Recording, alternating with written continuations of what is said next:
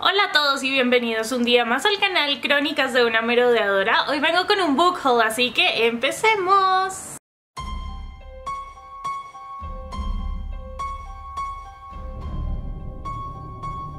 Bueno, si me siguen en Instagram se habrán dado cuenta de que hice una pequeña encuesta para saber si hacer solo un book haul con Filbo y con Abril o si hacer dos diferentes. Claramente ganó que hiciera dos diferentes porque eran un montón de libros y no creo que nadie viera un video de una hora, así que por eso habrá dos book hauls este mes. Pero bueno, sin más preámbulos, empecemos con los libros que compré y que me regalaron en la Filbo, o sea, la Feria Internacional del Libro de Bogotá. Lo primero que compré fue la colección completa de Cazadores de Sombras en la edición de Bucket, que crea como este mm, gran paisaje con sus lomos y en realidad estaban súper baratos, así que no me pude resistir. Y desde que vi estas ediciones en inglés me dieron muchas ganas de tenerlas porque de verdad me parece que los lomos se ven preciosos, así que pues los encontré en español y dije, why not? Así que bueno, aquí tenemos Ciudad de Hueso, Ciudad de Ceniza, Ciudad de Cristal, Ciudad de los Ángeles Caídos, Ciudad de las Almas Perdidas y finalmente Ciudad de Fuego Celestial. Lo siguiente que compré aprovechando una super promoción que vi por ahí fue Nuestra Señora de París de Víctor Hugo, ilustrado por Benjamin Lacombe. Este es el primero de dos volúmenes que básicamente cuenta eso, la historia del jorobado de Notre Dame de Nuestra Señora de París. Y pues está ilustrado, dice, voy a ver si logro encontrar alguna de las ilustraciones. Es que, ah bueno, vengan son súper, súper lindas. Y debo admitir que fue todo el desastre de la Catedral de Notre Dame la que me hizo recordar lo mucho que quería este libro porque, shame on me, no lo he leído. Solo he visto la película de Disney y, y todo es muy diferente siempre. Otro libro que me regalaron fue Harry Potter, un viaje por la historia de la magia y este es un libro que digamos reúne en él todo el detrás de escenas de la saga de Harry Potter y además un montón de cosas que pusieron en una exposición sobre Harry Potter y la historia de la magia en la Biblioteca Británica hace ya un par de años así que en este libro vas a encontrar como toda la mitología que hay detrás de Harry Potter, algunos dibujos que hacía J.K. Rowling, también hay algunas páginas originales con su puño y letra de cómo empezaron siendo las escenas de los libros de Harry Potter y cómo claramente terminaron siendo, también nos habla de qué artículos, digamos, mágicos que hay en la saga de Harry Potter existieron en realidad en plan en la mitología o por ejemplo cosas que usaban los astrónomos, los astrólogos y demás, así que es un libro súper cool para todos los fans de Harry Potter y claramente ya lo vieron, está súper ilustrado y tiene un montón de fotos. Otro libro que vi por ahí mientras caminaba por Filbo y dije, no me importa, tengo que tenerlo, o sea, de verdad no me importaba lo que fuera, fue este, Titanic. Y luego, claro, me acerqué y vi que era, y es como un libro en el que hay piezas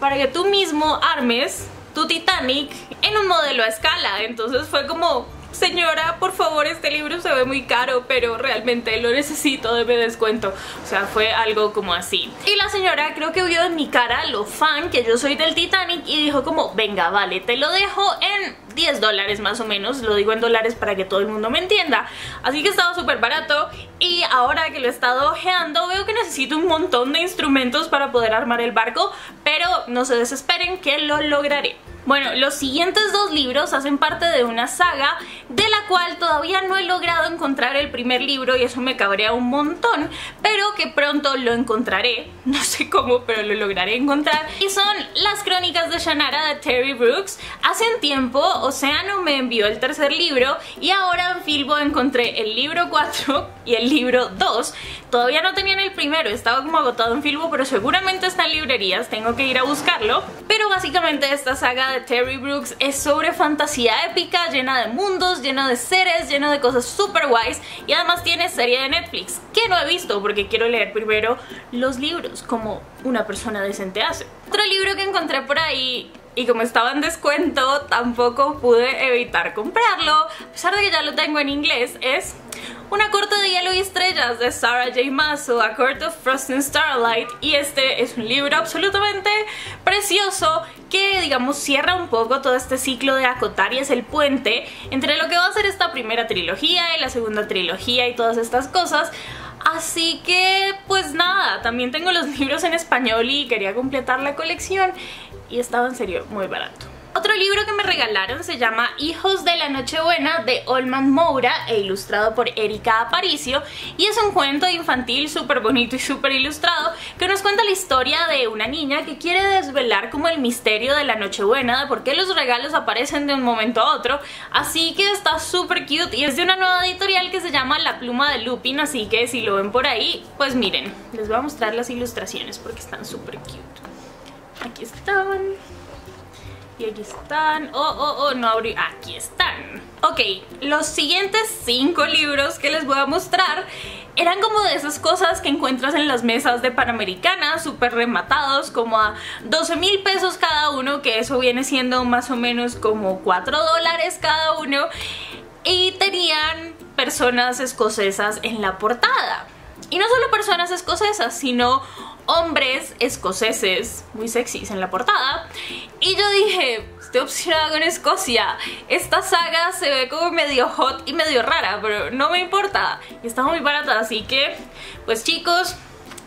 compré toda la saga que se llama Highlander de una autora que se llama Donna Grant. Les voy a mostrar el primer libro y les voy a contar un poco de qué va este primer libro que se llama Highlander, el beso del demonio. Nos cuenta la historia de Lucan MacLeod, un poderoso Highlander que ha vivido 300 años escondido de todo el mundo porque hay una especie como de dios maligno habitando su alma. Entonces para evitar la destrucción del mundo entero, pues este hombre se ha escondido 300 años de, de todo el mundo, ¿sabes? Y entonces resulta que un día hay una tormenta súper fuerte y hay una mujer en peligro y él tiene que salvarla y esta mujer se llama Cara y resulta que después de salvarla, como que esa mujer despierta todos sus instintos primitivos, tal cual lo dice así en la contraportada. Resulta que le va a parecer ya súper difícil controlar a este dios maligno que tiene dentro y entonces van a involucrarse los druidas y pues el enamoramiento entre estos dos, que aparentemente es súper hot. Y así, y así empieza esta saga medio porn. Y pues nada, les voy a mostrar el resto de los libros porque es que de verdad, I mean, oh god. El segundo libro se llama El pergamino oculto, el tercero se llama El conjuro olvidado, el cuarto se llama El escudo protector y el quinto se llama El amuleto secreto. Los siguientes libros que tengo aquí son The Glittering Court y The Midnight Jewel de Rachel Mead, que es la misma autora de Vampire Academy. Y en este libro nos encontramos con la historia de Adelaide, una mujer que está como destinada a casarse con alguien que ella no conoce y que es un matrimonio arreglado y que además es una condesa súper importante, así que ella decide escaparse de estos bosques haciéndose pasar por su criada y yendo como al nuevo mundo y en el nuevo mundo hay una cosa que se llama la Glittering Court que básicamente transforma a chicas pobres en personas así como súper deseables de la nobleza y de cosas así, aprendiendo un montón de cualidades y tal. En esta Glittering Court ella conoce a muchas personas, incluyendo a alguien súper misterioso que se llama Cedric Thorne, que resulta ser el hijo de una persona súper importante de estos bosques de los que ella escapó y además pronto va a descubrir que esconde un gran, gran, gran secreto y súper oscuro, así que supongo que esta trama se va a desarrollar entre ese secreto súper oscuro y el posible romance que haya entre ellos dos. Este es un libro que se centra también mucho en, toda esta mitología de las hadas, de los seres féricos y demás, así que es como mm, right up my alley. De nuevo, Panamericana los tenía los dos en super promo, algo así como a 7 dólares cada uno y dije como, está bien. Otro libro que me regalaron en Filbo fue Vamos a comprar un poeta de Afonso Cruz. La trama es un poco rara, pero es algo así como que hay un mundo en el que las personas no tienen de mascotas animales, sino artistas de diferente naturaleza y esta familia aquí de esta historia pues compra un poeta de mascota y algo sucede por ahí, es una cosa súper rara. Además decían que era como una crítica a no sé, la sociedad de consumo actual o algo así. No tengo ni idea. Pero es súper cortito y está ilustrado, así que, pues bueno. Otros dos libros que me regalaron y con los que por fin puedo completar la saga en español es La sombra de la serpiente y El trono de fuego de Rick Riordan, el segundo y el tercer libro de las crónicas de Kane. Y de verdad es que estoy obsesionada desde que escuché el audiolibro del primero y dije como, no sé, es que mi colección de estos libros estaba súper incompleta, el primero lo tenía en español, luego también en tapadura en inglés, luego en paperback en inglés, luego en otra edición súper rara el tercero, entonces nada pegaba con nada, así que cuando me los regalaron fui muy feliz y por si no lo saben esta es la saga de Rick Riordan que reinterpreta la mitología egipcia. Otro libro que me regaló su mismo autor fue Desconocidos de David Lozano, también me lo firmó. Y este es un libro que nos cuenta como dos historias paralelas de dos chicos que se conectan a través de redes y empiezan como a gustarse, a intercambiar sus sueños y cosas así, así que el siguiente paso es una cita a ciegas, pero ojo que siempre conocer a un desconocido es algo bastante riesgoso. Y además también mencionan algo como de un cadáver desfigurado en la parte de atrás y es como claro, todo muy David Lozano sano, así que supongo que es una historia súper turbia sobre el poder de las redes sociales, sobre el poder maligno, diría yo, de las redes sociales y los peligros que entraña conectar con personas totalmente desconocidas por ahí, así que tengo muchísimas, muchísimas ganas de leer esto porque, oye, los libros de David siempre son súper truculentos y mueren personas desde la página 1. Otro libro que me regalaron se llama Asfixia, Inmunidad número 1 de Alex Mires y resulta que un día normal, casual de la vida, en el año 2019 de hecho, en, en, septiembre, ¿será que esto es una profecía? Bueno, espero que no, porque en septiembre del 2019, según este libro,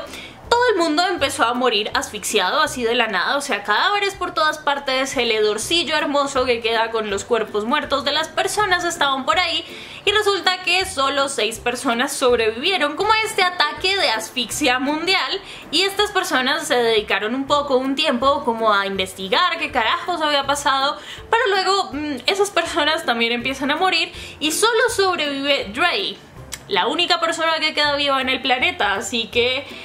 esta distopía se ve súper cool y creo que también salió de Wattpad, así que es probable que lo conozcan y si no, pues pinta súper bien. Otro libro que tengo aquí se llama Elipsis 2018 y es un proyecto del British Council en el que juntan a cinco potenciales escritores con cinco potenciales editores y crean este libro después de pasar por toda una convocatoria, de un montón de pruebas y demás y el resultado final es un libro en el que salen estos cinco relatos y además lo hacen tanto en español que es como por aquí, y si volteas el libro, están los cinco relatos en inglés, así que me pareció súper interesante. Me lo regalaron y me gustó tanto el proyecto que dije como, oye, quiero conocerlo. Otro libro que tengo aquí es Una obsesión perversa de B. Schwab. Este también me lo regalaron y es Vicious en inglés por si les suena. Aquí nos encontramos con la historia de Victor y de Eli, que eran dos estudiantes universitarios súper inteligentes, un poco arrogantes y que se empezaron a preguntar un día que qué pasaría si bajo ciertas circunstancias las personas pudieran desarrollar habilidades extraordinarias, pero la cosa cambia un poco de marrón a oscuro cuando todos sus experimentos pasan de ser precisamente eso, experimentales a reales, así que algo sucede y luego 10 años después nos encontramos con Víctor saliendo de la cárcel y buscando a su amigo, ahora enemigo, Eli, y vamos a ver qué pasa con todos estos villanos y con toda esta gente llena de poderes extraordinarios que crearon ellos a partir de su teoría experimental y nada, es B. Schwab, es un libro que de verdad no puede fallar. Otro libro del que ya les he hablado un montón pero que por fin encuentran en español es Y si fuéramos nosotros de Becky Albertalli y Adam Silvera. Este es un libro de verdad precioso que nos cuenta la historia de Arthur y de Ben, dos chicos que se encuentran por casualidad en Nueva York y creen que esa casualidad es más que una casualidad, que es el destino que los está juntando para estar juntos y demás, pero pronto se van a empezar a dar cuenta de que tal vez no existe tal cosa como el destino, tal vez el destino les está jugando malas pasadas, pero aún así es una historia súper linda de amor, de amistad, de problemas, de confusiones y claro tiene el sello de dos autores increíbles que son Becky Albertalli y Adam Silvera, así que pueden esperar cosas un poco crueles también en la trama. El siguiente libro que tengo aquí es The Wrath and the Dawn de René Adie y es básicamente un retelling de las mil y una noches porque aquí nos encontramos con Khalid, un sultán, supongo, es que no sé cómo se traduce, el califa, el califa, tal vez es el califa, el califa de un lugar que se llama Khorasan y todo el mundo sabe que es un monstruo porque todas las noches llama a una doncella diferente y ninguna sobrevive al día siguiente, así que cuando Sherezad se ofrece a ser una de estas siguientes mujeres y sobrevive al día siguiente y al siguiente y al siguiente y al siguiente, la gente se pregunta qué está haciendo. Y es que le está contando historias súper interesantes al califa, pero ojo que aquí el twist que tiene como este es que Sherzad, o como se pronuncia porque es que no hablo árabe ni estas cosas, ella se enamora muy fácil de esta persona y ¿por qué se está enamorando tan fácil de esta persona si todo el mundo dice que es un monstruo? ¿Qué hay detrás de esta leyenda y qué es verdad y qué es mentira? Así que, de nuevo, lo vi en una super promo, leí que era un retelling de las mil y una noches y dije como mira, mm, dame 10, bueno, no, dame uno. Otro libro que vi por ahí que la verdad no tenía ni idea de qué era, pero me sonó súper cool, se llama The Forbidden Wish de Jessica Corey y es un retelling de Aladdin básicamente en el que Aladdin encuentra esta lámpara maravillosa de los genios, pero a diferencia de en la película y en la mitología supongo, no se encuentra con un genio hombre sino con una genia mujer que se llama Sara y resulta que cuando Aladdin empieza como a usar esta lámpara maravillosa y tal, Sarah se ve como transportada a un mundo súper antiguo en el que se encuentra con el rey de los genios y él le da la oportunidad de ser libre para siempre de su lámpara, pero ahí se encuentra ella con esta decisión muy difícil de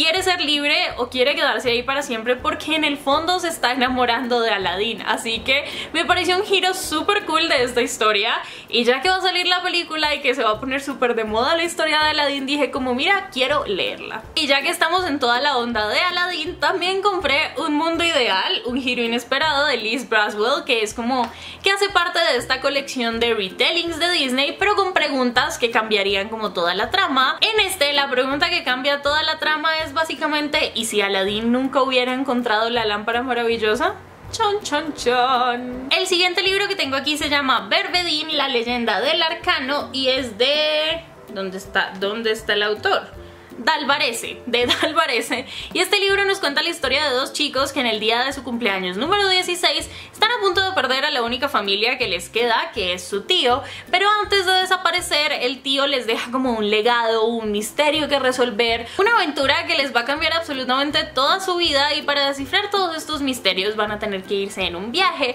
junto con sus mejores amigos, así que seguramente van a conocer un mundo bastante mágico y además creo que tiene